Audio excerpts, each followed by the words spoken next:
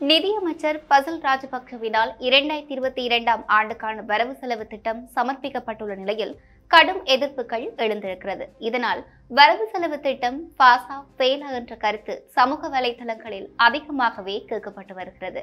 இது பற்றிய விளக்கங்களை இன்றைய ஆய்வின் தொகுப்பில் விரிவாக பார்க்கலாம்.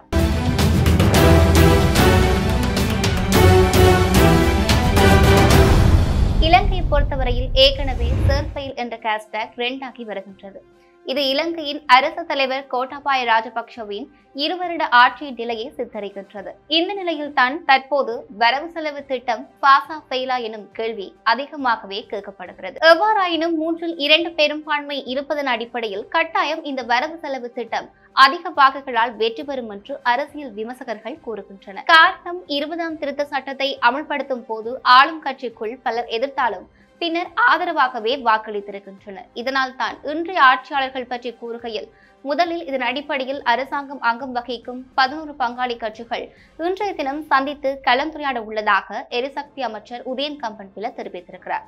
இன்றைய சந்திப்பில் தான் வரவு செலவு திட்டத்தை ஆதரிப்பதா இல்லையா என்று தீர்மானிக்கலாம் என்றும் ஒரு கருத்து வெளியாகியிருக்கிறது. இருப்பினும் லங்கா சமசமாய கட்சியின் தலைவர் பாராளுமன்ற உறுப்பினர் பேராசிரியர் திச விதாரண சற்று குழம்பியுள்ளார் என்பது அவருடைய கருத்துக்களில் இருந்து தெளிவாக புலப்படுகிறது. கோவிட் நைன்டீன் வைரஸ் தாக்கம் வாழ்க்கை செலவுகள் அதிகரித்தல் உள்ளிட்ட காரணங்களினால் பொருளாதார ரீதியாக பாதிக்கப்பட்டுள்ள மக்கள் பயனடையும் வகையில் இரண்டாயிரத்தி இருபத்தி இரண்டாம் ஆண்டுக்கான வரவு செலவு திட்டம் அமையவில்லை. பாதிக்கப்பட்டுள்ள மக்களுக்கு நிவாரணம் வழங்க வேண்டும் என்று கட்சி சார்பில் யோசனைகளை முன்வைத்தோம் என்று லங்கா சமஸ்மாய கட்சியின் தலைவர் பாராளுமன்ற உறுப்பினர் பேராசிரியர் திச விதாரண தெரிவித்திருக்கிறார். இவர் அரசின் மீதான அவரின் அதிருப்தியை கூட வெளிக்காட்டியிருக்கிறார். எனினும் அரசாங்கத்தில் இருந்து லங்கா சமசமாய கட்சி வெளியேறுவதாக சமூக வலைதளங்களில் வெளியாகியுள்ள செய்திகள் முற்றிலும் பொய்யானவை என்றும் தெரிவிக்கப்பட்டிருக்கிறது. அரசாங்கத்தின் தவறுகளை சுட்டிக்காட்டி நல்வழிப்படுத்த வேண்டிய பொறுப்பு கூட்டணியின் பங்காளி கட்சி தலைவர்களுக்கு உண்டு. அரசாங்கத்தின் மீது நாட்டு மக்கள் கொண்டுள்ள நம்பிக்கையை உறுதிப்படுத்த வேண்டும். அதற்கான நடவடிக்கைகளை தற்போது முன்னெடுத்துள்ளோம் என்றும் அவர் கூறியிருக்கிறார். இது ஒரு புறம் இருக்க அரசு உத்தியோகத்தர்கள் விரும்பினால் கூட அறுபத்தைந்து வயதுக்கு முன்னர் ஓய்வு பெற முடியாதா? அல்லது அறுபத்தைந்து வயதுக்கு முன்னரே ஓய்வு பெற்றாலும் ஓய்வூதிய பணத்தை பெறுவதற்கு அறுபத்தைந்து வயது வரை காத்திருக்க வேண்டுமா என்பதை நிதியமைச்சர் தெளிவுபடுத்த வேண்டும் என்று சுகாதார தொழில் வல்லுநர்கள் கல்வியகத்தின் தலைவர் வைத்தியர் ரவி குமுதேஷ் கேட்டுக் கொண்டுள்ளார். அரசு உத்தியோகத்தர்களின் ஓய்வு பெறும் வயதில்லை அறுபத்தைந்தாக அதிகரிக்கப்பட்டுள்ளது என்றால் அதற்கு முன்னர் விருப்பத்துடன் ஓய்வு பெற முடியாதா என்று நிதியமைச்சரிடம் கேட்கிறோம் என்று குறிப்பிட்டுள்ளார். விரும்பினாலும் முன்னதாகவே ஓய்வு பெற முடியாது என்று கூறுவதாயும் அறுபத்தைந்து வயது வரை ஓய்வூதிய பணத்தை பெற முடியாத நெருக்கடி ஏற்படும். தற்போது ஐம்பத்தைந்து அல்லது ஐம்பத்தி ஆறு வயதில் ஓய்வூதியத்தை பெறும் அரசு உத்தியோகத்தர்களுக்கு எதிர்காலத்தில் அதற்காக அறுபத்தைந்து வரை காத்திருக்க வேண்டிய நிலைமை ஏற்படும். ஓய்வூதிய பணத்தை பெறுவதற்காக பத்து வருட கால தாழ்த்துவதற்கான வேலை திட்டம் இதனூடாகவே முன்னெடுக்கப்பட்டுள்ளதா என்ற ஐயமும் எழுக்கிறது என்ற ஒரு கருத்தும் முன்வைக்கப்பட்டிருக்கிறது. எனவே வேலை செய்ய வேண்டிய தேவையுடைய ஆர்வமுடையவர்களுக்காக ஓய்வு பெறும் வயதில்லையை அதிகரித்தால் என்பதற்கும் ஓய்வு பெறும் வயதில்லையை அறுபத்தைந்தாக அதிகரிக்கப்பட்டுள்ளது என்பதற்கும் இடையில் சிறு பரஸ்பர தன்மை காணப்படுகிறது. எவ்வாறு இருப்பினும் இது குறித்து நாம் கலவரமடைய போவதில்லை. மிக உன்னிப்பாக அவதானத்துடனேயே இருக்கிறோம் என்றும் தெரிவிக்கப்பட்டிருக்கிறது. இந்த தீர்மானத்தின் மூலம் இனிவரும் வருடங்களில் ஐம்பத்தி எட்டு அல்லது அறுபத்தைந்து வயதுக்கு முன்னர் ஓய்வூதியம் பெற முடியாது என்று கூறினால் அது பாரதூரமான பிரச்சனையாக உருவெடுக்கும். எவ்வாறு இருப்பினும் இந்த தீர்மானத்தை நாம் ஆதரிக்கிறோம்.